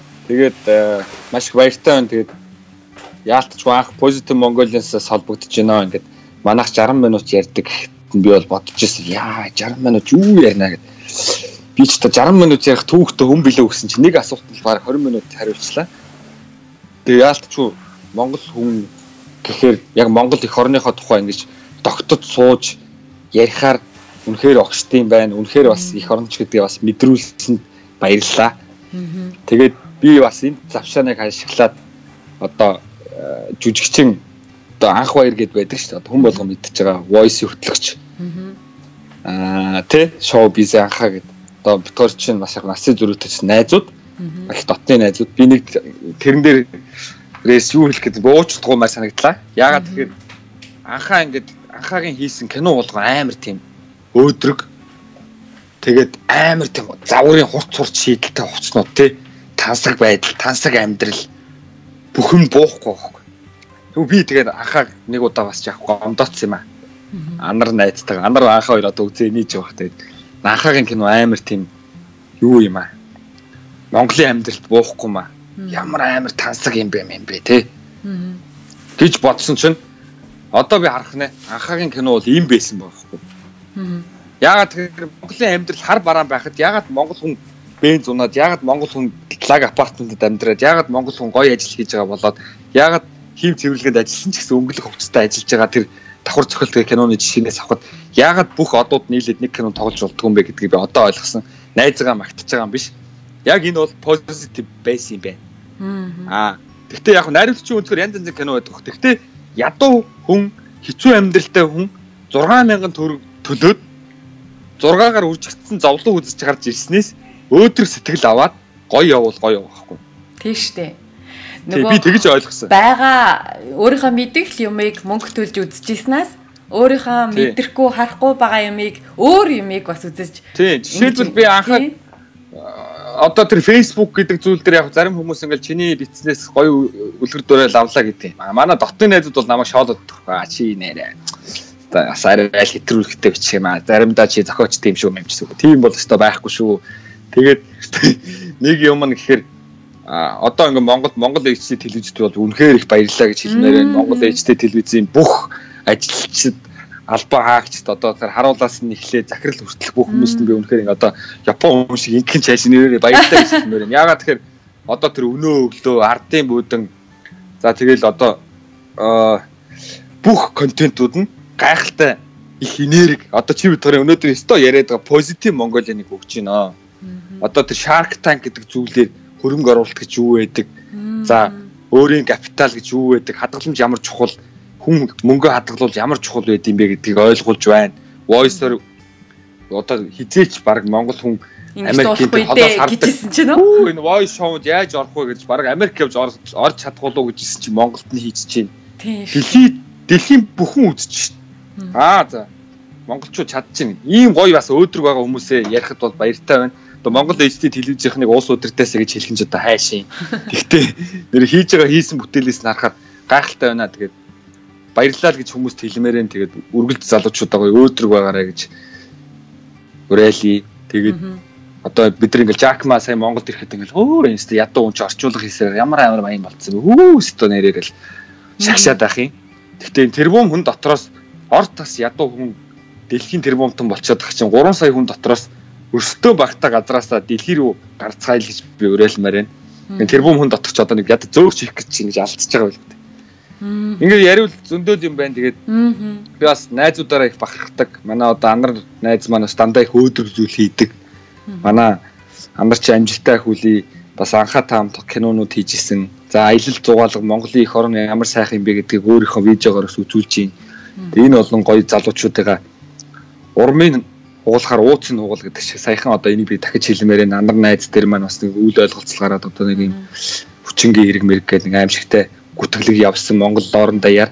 Монгол одоо жоохон өөр юм санаа зовоос гэж би боддог. Төрөөтэйгээ бас найз ангууч гэдэг.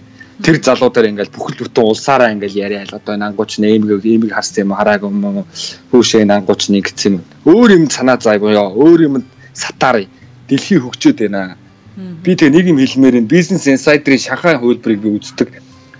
This country гэдэг эхэлдэг. Тэгсэн чинь ингэж байгаа. Шанхайд 7 хоногт 7 хоногт албан ёсоор албан бусаар мэдэхгүй 7 хоногт 4 сая 4 сая 4 сая доллартон сая доллараар ярих юм бол за сая доллараар 4 сая доллар одоо 4 сая доллар биш 4 ширхэг сая долларын шинэ саятан гарч байна.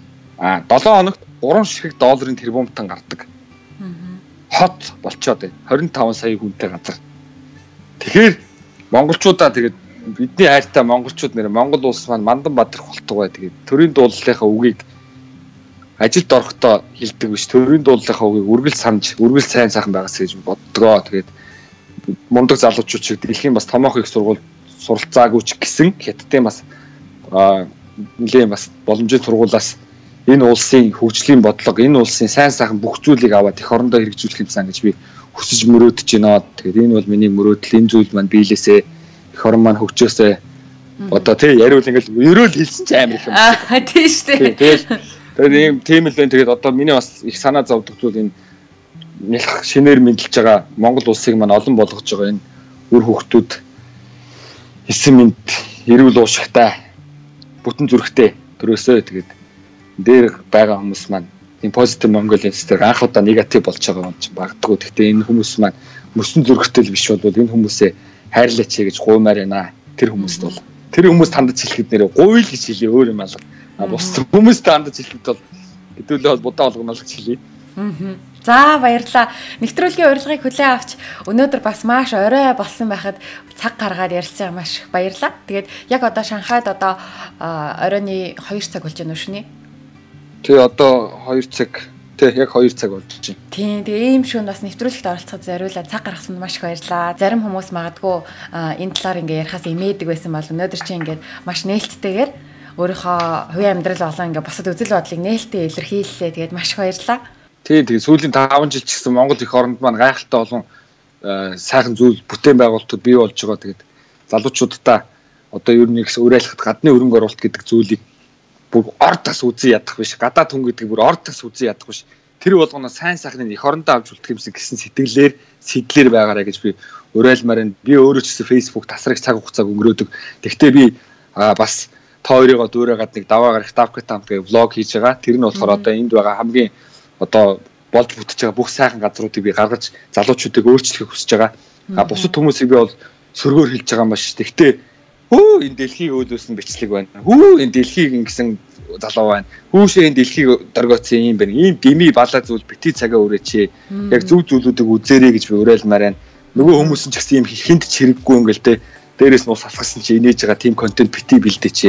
Цөөхөн залуучуудаа зүг зүйл рүү уриалаач гэж байгаа юм биш гэж байгаа. Тэгээд бид одоо дөлгөөн болон дафка ч юм уу бус хүмүүс лаг юм хийгэж ингэж дүүлгэж байгаа юм биш зүгээр л хідүүлээ яг цөөхөлөө болохоор зүү юм ийя гэж уриалж байна. Тэгээд уриалгах юм их юм асуудал хариулах юм их юм тэгээ баярлаа. Сэтгэл хөдлөгөө эцэд унтахгүй байна.